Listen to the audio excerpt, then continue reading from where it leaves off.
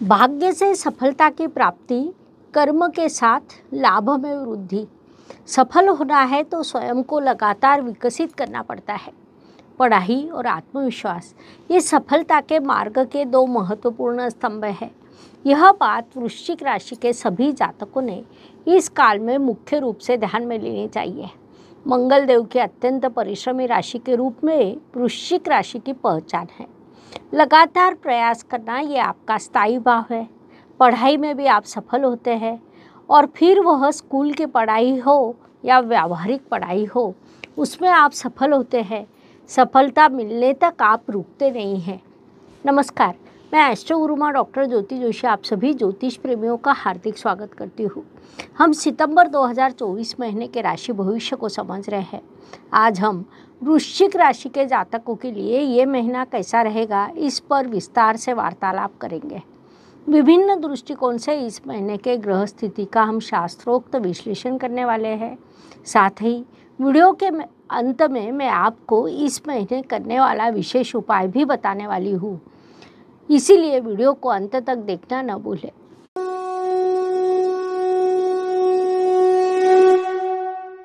व्यक्तित्व की दृष्टि से जब हम विचार करते हैं तो राशि स्वामी की स्थिति महत्वपूर्ण होती है। वृश्चिक राशि के स्वामी मंगल देव की यात्रा अष्टम स्थान से शुरू है। कुंडली का अष्टम स्थान बाधा परेशानी का स्थान माना जाता है। इस स्थान से जब राशि स्वामी की यात्रा शुरू रहती है, तब अन्य राशियों के लिए संघर्ष बढ़ने की संभावना रहती है। लेकिन जब वृश्चिक राशि का विषय आता है, तब यह राशि अष्टम स्थान में भी संघर्ष से विजय प्राप्त करने के लिए प्रयास करती है। कई बार सफल भी होती है। उस दृष्टि से आपका व्यक्तित्व विकसित होता है। इस काल में आपके साथ होने वाला है।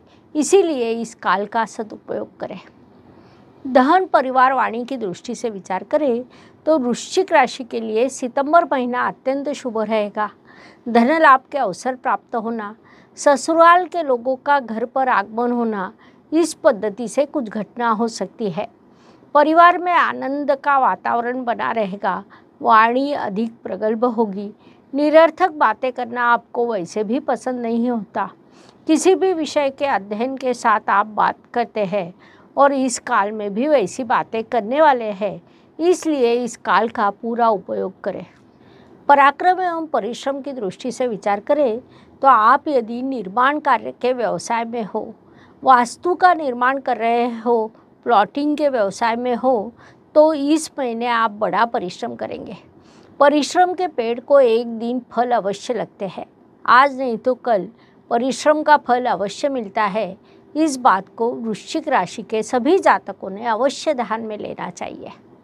वास्तु वाहन, भूमि, सुख, शांति की दृष्टि से विचार करें तो वृश्चिक राशि के चतुर्थ स्थान में शनि देव द्वारा शश राजयोग बना है, जो पंच महापुरुष योगों में से अत्यंत बड़ा राजयोग माना जाता है। विशेष बात है कि आपके राशि स्वामी के साथ भी उन्होंने नव पंचम योग बनाया है, साथ ही वे वक्री अवस्था में भी है। आपके कर्मेश की दृष्टि भी शनिदेव पर है। कुल मिलाकर विचार करें तो यह महीना विभिन्न अर्थों से आपके लिए सौख्यदायक एवं लाभदायक रहेगा। वास्तु के शुभ योग निर्माण होंगे, उससे लाभ प्राप्त होगा। इस काल का पूरा उपयोग करें। शिक्षा संतति प्रणय की दृष्टि से विचार करें तो वृश्चिक राशि के जातकों के लिए थोड़ा अधिक परिश्रम करना, अधिक पढ़ाई करना आवश्यक रहेगा। आप प्राथमिक शिक्षा में हो तो बड़ी सफलता मिलेगी। माध्यमिक शिक्षा में हो तो आपको अतिरिक्त परिश्रम करना पड़ेगा।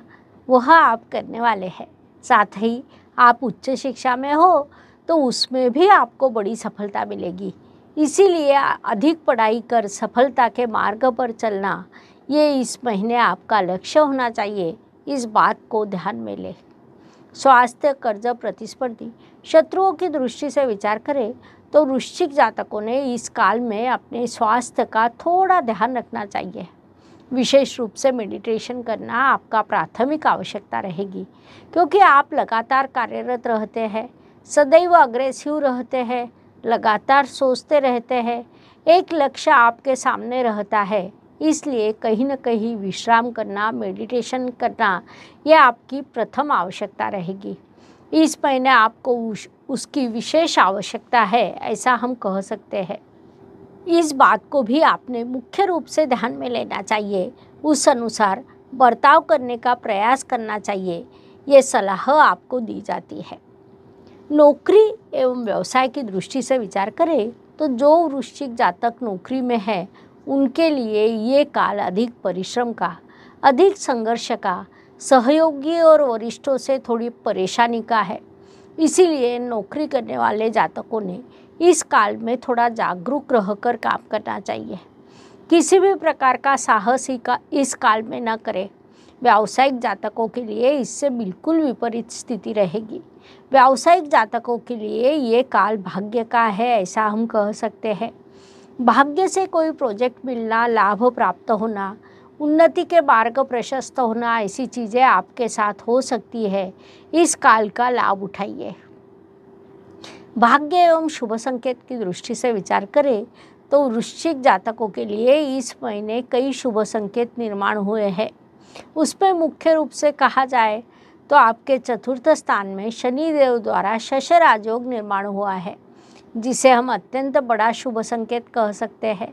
इसके अलावा गुरुदेव आपके सप्तम स्थान में विराजमान है। वहाँ से उन्होंने आपके व्यक्तित्व पर अत्यंत सकारात्मक प्रभाव डाला है। लाभ के विभिन्न अवसर निर्माण किए हैं। यात्रा के योग भी वहीं से निर्माण हुए हैं। सबसे महत्वपूर्ण बात है कि कर्मेश का कर्म स्थान में होना, वह भी रवि जैसा ग्रह, यह अत्यंत बड़ा शुभ संकेत है। ऐसा हम कह सकते हैं ऐसे कई शुभ संकेत इस महीने आपके लिए निर्माण हुए हैं। उनसे आपको शुभ परिणाम प्राप्त होने वाले हैं। इस काल का सदुपयोग करें। कर्म की दृष्टि से विचार करें तो वृश्चिक राशि के लिए रवि देव की स्थिति महत्वपूर्ण होती है, क्योंकि वे आपके कर्मेश है। रवि देव की एक विशेषता है, वे हर रोज़ एक अंश चलते हैं। ऐसे रविदेव आपके कर्म स्थान में आए हैं। कर्मेश कर्म स्थान में, वह भी अनुशासन प्रिय ग्रह होने के कारण, वह गुण आप में प्राकृतिक रूप से आएगा। उससे आपको दीर्घकालीन लाभ प्राप्त होगा। लाभ की दृष्टि से विचार करें तो वृश्चिक राशि के लाभ स्थान में शुक्रदेव विराजमान है, जो भरपूर लाभ प्रदान करते हैं। विशेष बात है कि आपके कर्मेश रविदेव भी महीने के दूसरे पखवाड़े में लाभ स्थान में जाने वाले हैं। महीने के अंत में लाभ स्थान में आने वाले हैं। ज्योतिष नियमों के अनुसार लाभ स्थान में आने वाला हर ग्रह लाभ प्रदान करता है। इस महीने आपके लाभ स्थान में तो ग्रहों की भीड़ रहने वाली है, जिस कारण ये महीना आपके लिए बड़ा लाभकारी रहेगा, ऐसा हम कह सकते हैं। व्यय एवं परदेश गमन की दृष्टि से विचार करें तो वृश्चिक जातक इस महीने बड़ा परिश्रम करेंगे। मौज मस्ती पर परिवार पर आपका खर्च होने वाला है। वृश्चिक जातक सामान्य रूप से अधिक खर्च नहीं करते, लेकिन आप अपनी सभी जिम्मेदारियों को अवश्य पूरा करते हैं। जब कोई चीज़ ज़िम्मेदारी के रूप में आपके सामने आती है, फिर चाहे वह पारिवारिक हो जीवन साथी से संबंधित हो, संतति से संबंधित हो, उसे आप पूर्ण करते हैं, इस महीने भी करने वाले हैं। हर सुबह एक नया दिन प्रकट होता है, उसके बाद रात होती है। अर्थात दिन के बाद रात और रात के बाद दिन, यह प्रकृति का चक्र है। यह चक्र मनुष्य जीवन पर लागू होता है। फलस्वरूप हर दिन हर किसी के लिए एक जैसा या समान नहीं होता। कुछ दिन शुभ, कुछ अशुभ या तनावपूर्ण होते हैं। उस दृष्टि से वृश्चिक राशि के लिए एक ग्यारह उन्नीस, ये दिन शुभ रहेंगे। साथ ही नौ, अठारह और बाईस, ये दिन अशुभ तनावपूर्ण तथा संघर्ष से भरे रहेंगे। इसी को ध्यान में रखते हुए इस महीने कार्यों की योजना बनाइए।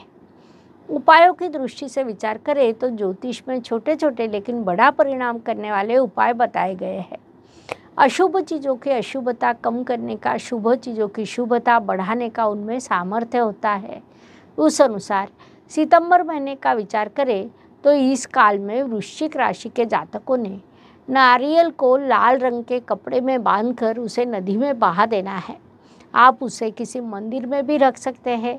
ये उपाय आपने लगातार सात मंगलवार तक करना है। उसके शुभ परिणाम प्राप्त होंगे। इस प्रकार मेष से लेकर मीन तक हर राशि के लिए सितंबर 2024 कैसा रहेगा, ये समझने के लिए हमने बारह वीडियो आपके इस चैनल पर अपलोड किए हैं।